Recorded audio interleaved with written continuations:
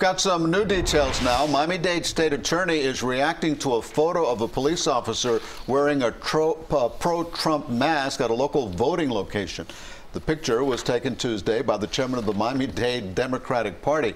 Miami Police Chief George Colina called the officer's actions unacceptable. And now, State Attorney Katherine Fernandez Rundle is also reacting with this quote, while I respect the officer's First Amendment right to express his opinion and support any candidate he wishes, I agree with Chief Colina's statement calling his actions unacceptable. Wearing one's police uniform at a voting site while expressing a political opinion may be construed as an official attempt to send a distinct message to potential voters. This should not occur in Miami-Dade County. End quote. That from uh, State Attorney Kathy Fernandez Rundle. Right